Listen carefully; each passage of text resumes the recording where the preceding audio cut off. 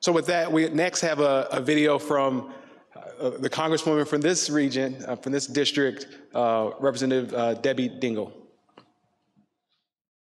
Hi, it's Congresswoman Debbie Dingell. I'm glad to be able to join you today. I just wish I could be there in person. We have this little thing in Washington called the speaker's race. Someday we might have one. Most of you know that I'm a car girl and that the auto industry is at an inflection point. As passenger cars and commercial vehicles are becoming safer, smarter, and cleaner, we need to ensure that we are meeting that movement with the necessary policy and infrastructure. V2X tech includes everything from the smart software in your car to the ability of your vehicle to prevent potential crashes.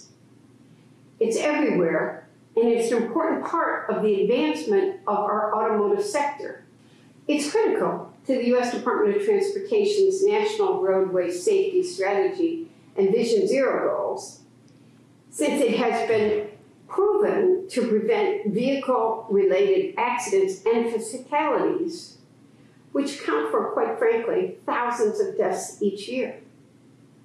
V2X technology is essential to moving forward into the future of electric and autonomous vehicles.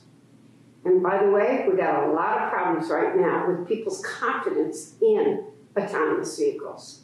We have to get this right. As consumers and commercial vehicles evolve, the University of Michigan is conducting cutting-edge research to help keep us on at the forefront of auto innovation and advancement. Earlier this year, U of M was awarded $9.8 million to update their connected vehicle test environment with V2 tech, V2X technology, allowing them to research, develop, and test emerging safety technologies. That's important.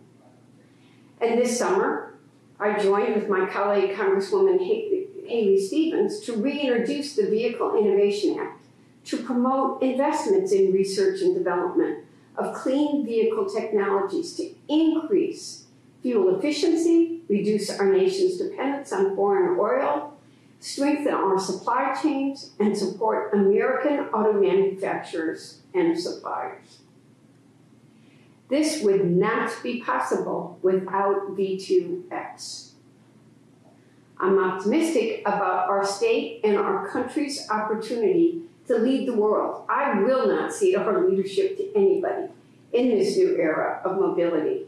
And I look forward to continuing to work with U of M, with the Department of Transportation, and with my colleagues in Congress to tackling the challenges and developing the technologies to support the future of connected vehicle technology and infrastructure. That's why you're here today to talk about it, and we're going to make sure we stay at the forefront.